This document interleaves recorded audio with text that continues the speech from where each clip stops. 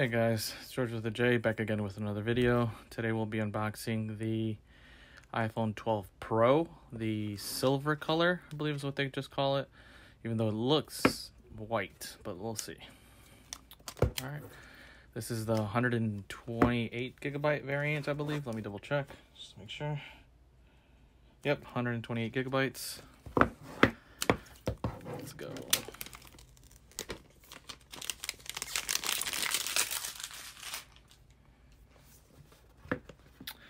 Um, now this one, I'm not even sure what the price of it is.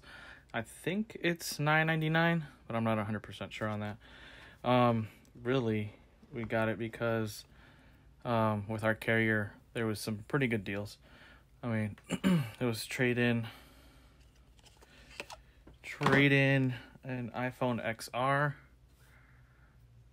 and you get 400 over $400 back um, to use towards the purchase of the iPhone 12 Pro. So I mean, it just made sense. This phone sells for I think 4.99 new, and they were giving us over $400, a little over $400 to to trade it in. So yeah, so this phone is going to be replaced by the 12 Pro. At least for us, it is. Let's see here. So this is the the box art, I guess inside. Little cutout for the camera here. Here's the phone. See, this is what I'm talking about. It's called silver, but it really looks white. It actually looks whiter on camera, I think, than it does in person. But and then the bezels are that polished stainless steel. And then no more plastic all the way wrapped around. I don't know if you guys remember. It used to be plastic wrapped the front, top, and then through the back. Now it's just this paper on the front here. Set that aside for now though. In the box, if you've seen my other videos, you already know that there's not much in here anymore. Just the SIM eject tool and the uh, USB-C to lightning cable that they supply now. The funny thing is they don't supply you with a charging brick because everybody has a bunch of charging bricks laying around, right? Um, but the thing is that this is USB C to Lightning. Most people have the regular USB to Lightning, so you have to go out and buy there. You have to go out and buy a new, um, a new charging brick for this, so you can connect to your. Uh, so you can connect it and actually use their fast charging. Or else, if you use your old um, chargers, they will work, but they're five watts. Um, only five watts of charging. Let's go ahead and take this.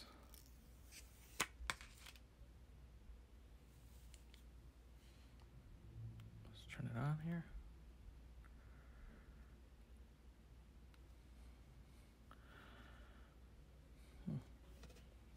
Hmm. Just for size comparison, I mean,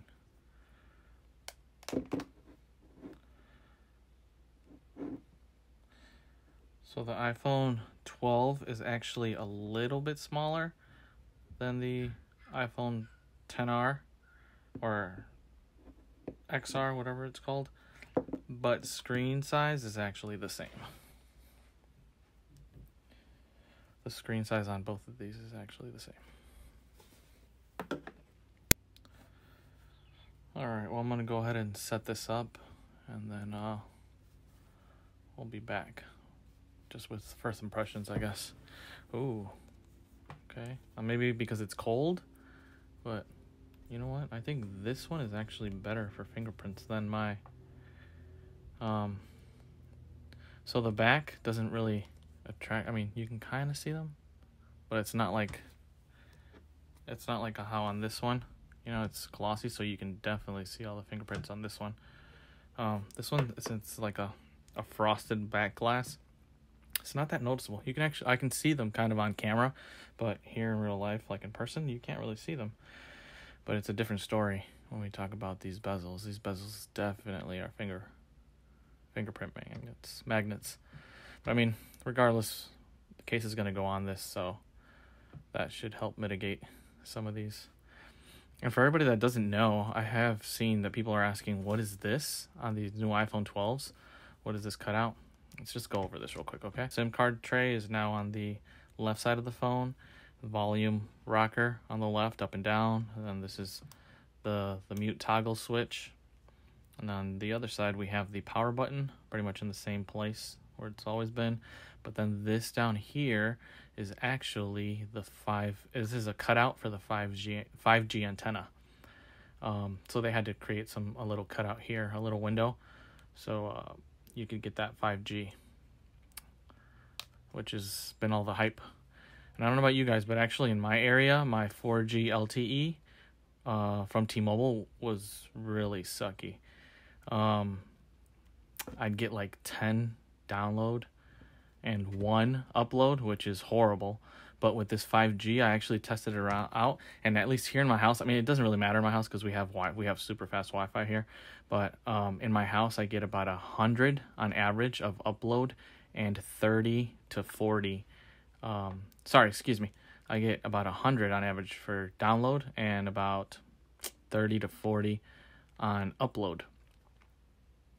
Around town, I've seen anywhere I mean, I'm not even sure where the 5G antenna is around here, or else I'd go stand next to it and see what kind of speeds we get there. But just around town, I have noticed that it goes anywhere between 50 to like 300 upload, and anywhere between 10 to 50 uh, upload. So, I mean, it's a big improvement, at least for me. The 5G is so it's it's well worth it. Besides getting this at a great price, um, just the reception wise, you know, just being out and knowing you have pretty darn good, reliable uh, cell service is, is, is worth the upgrade. So setting up a new iPhone is pretty easy.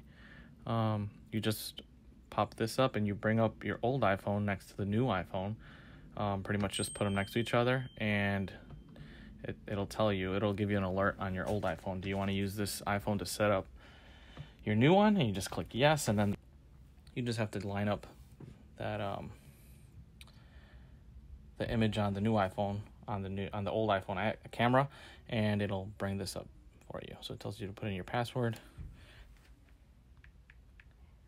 All right, we do that. That's pretty much it. Now it's setting up my new iPhone. So everything gets transferred over.